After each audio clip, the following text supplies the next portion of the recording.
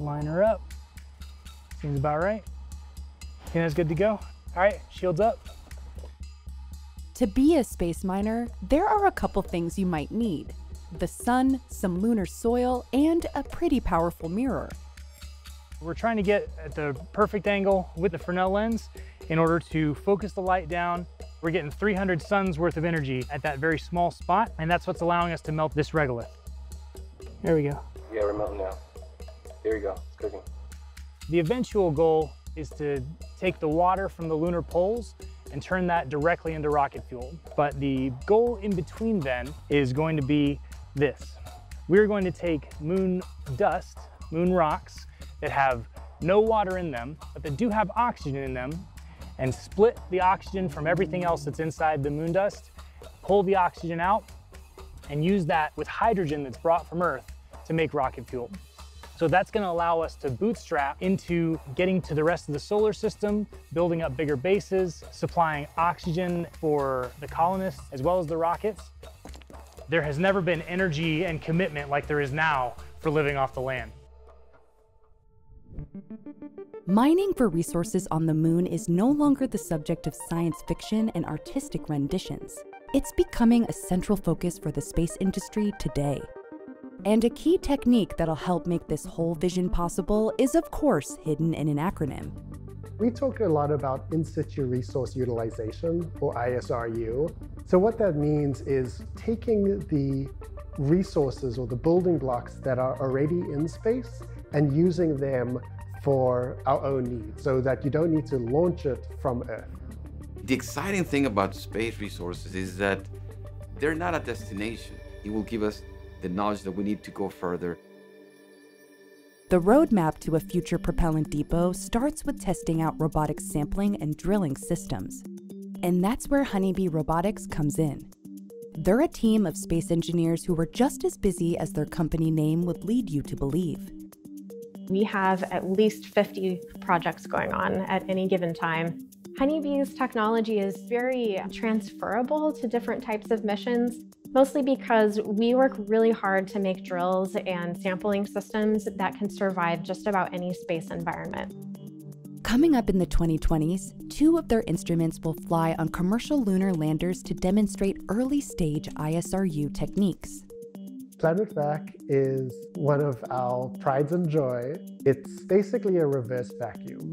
You blow to agitate the regolith, and that creates a pressure difference between the foot and the collection chamber on the lander. So that creates a flow of material, and then we have another little blower to make sure it goes in the right direction. It's so lightweight that it can really attach just about anywhere, and it has what looks like a little foot that hangs off the side. It's a great addition to any spacecraft. And this one, LISTER, will measure thermal conductivity on the moon. Both of these instruments, along with various other payloads from universities and companies tapped by NASA, will give scientists foundational data about the moon's terrain before we start mining for water. And roving over at the Colorado School of Mines is another project that wants to go lunar prospecting. We are currently in the Earth Mechanics Institute at the Colorado School of Mines. They've been studying how to drill, prospect, excavate, and use resources for over 100 years. This is where we test out MAP, his suspension, his drivetrain, LiDAR, cameras, and it allows us to quickly iterate on our design. On board MAP, there's a near infrared spectrometer and a scanning mass spectrometer, and you have a 10 centimeter drill. Plus, a video game controller to steer MAP through the turns on the testbed. We're starting to see a shift in the industry from totally human-controlled robotics to autonomous missions. The future of MAP is to have swarms of prospectors on the lunar surface looking for resources of interest.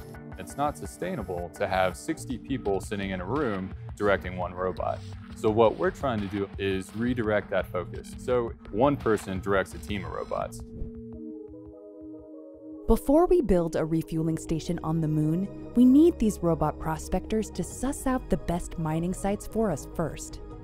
And once we know what's there and where to dig, then we can take on the next challenge. In order to extract the resource, you have to first focus what is that you want to extract. And actually, there's two camps. Uh, some people say, let's go after the water. Why? Because the water will give you immediately hydrogen and oxygen. You got your propellant. Some say, well, it's hard to get to those permanently shadowed regions on the poles. Why not get the oxygen? It's 80 or 83% of the propellant that you need. And that is what Hunter Williams is working on at Honeybee Robotics. This is what it's going to look like extracting oxygen from a lunar sample. We would have a small reactor. That's that metal part on the inside. We would have some kind of element to heat up a spot in that reactor. So the first technology we'll probably use is concentrated solar. You take the sunlight, you squeeze it down to the part right in the middle there, and then once the melt pool gets going, once it's turned into lava, then we turn on those two electrodes that are inside the reactor and it starts pulling apart the metals from the oxygen. So we'd have some kind of loose seal around the outside and we'd be keeping a more or less low pressure and slowly drawing the oxygen out of the system. The biggest issue in the past with space resources is that it's been too risky. But what we're doing here is we are lowering the risk of space missions by providing the astronauts something they could use there. In case of emergency, there's your oxygen. In case you need to get off the moon really quickly and there's no resupply vessel coming, you're fine. You've got a cache of oxygen right here. This will be the first type of technology that's going to be used on the moon to really live off the land. So we start here and we move on later to collecting ice and using that to get to the rest of the solar system. Depending on what the robot prospectors discover when they hunt for ice water on the moon, experts are looking into two different techniques to extract it. The one we think will be highly successful is what we call the planetary volatile extractor. We drill down and then heat the core downhole. So there's embedded heaters on the inside of the coring string, and that forces the volatiles to sublimate and go up the middle of the drill string. And you could think about having an array of these PVEXs and then going on a rover over like a football field and just going and collecting large amounts of water. Over at the Colorado School of Mines, Angel and his team are exploring a thermal mining technique to capture lunar ice. The water may be ice as hard as a rock. I may have to start drilling, using a lot of excavators, that becomes hard. Solar power can be collected and beamed down, and the water can be transformed from ice to vapor. It's called sublimation. So if I can do that, now I have this gas, goes out, and then I can trap it with a cold surface and it becomes ice again. This is a totally new technique that we don't use on Earth. This is where you start thinking very innovative ways in a different environment. And then once you've got that water ice extracted from the moon's poles, we're gonna gather it up and then we're gonna put some electricity to it. So just as simple as you can see right here, I am splitting hydrogen and oxygen in this water. That's how simple electrolysis is. If now a rocket lands and you're gonna have a line for hydrogen, one a line of oxygen, you now refuel the rocket, you ignite them, and you have a powerful rocket going up. Which products are water? What excites me the most about the future of space resources is the fact that it enables a sustainable presence in space. And what that means is truly having an outpost on the moon that people work and live, and none of that is possible without the use of space resources. It's an entirely new zeitgeist. It's a totally new way of looking at space than what we've been doing in the past, I don't know, five decades. It has been so challenging that pushes us to develop technologies that we never thought we were going to use. And that's what the space program did. It pushed our edge on every single engineering discipline.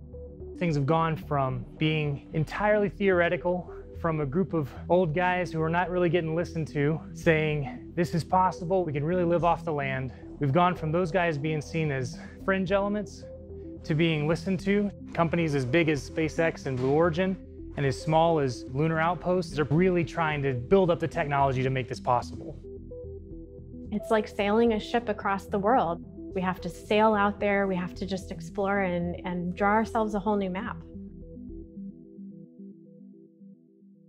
My favorite example of like space redneck engineering is the invention of the microwave oven. Originally, they were doing all this very secret, very big brain radar testing in, uh, I think it was World War II. One of the technicians who was setting up the radar range was working and he had a, he had a chocolate bar in his pocket and it started melting due to the, the radar going off. So he thought to himself, hey, I could take this technology that we're using for space stuff and cook my Hot Pockets with it. So it's very similar to what we're doing here because we're taking what used to be very big uh, technology in the 1800s of electrolysis, and we're taking the lenses from a lighthouse, turning them sideways and focusing sunlight down rather than focusing light outwards to melt the dirt, combining these two processes and turning it into a new space technology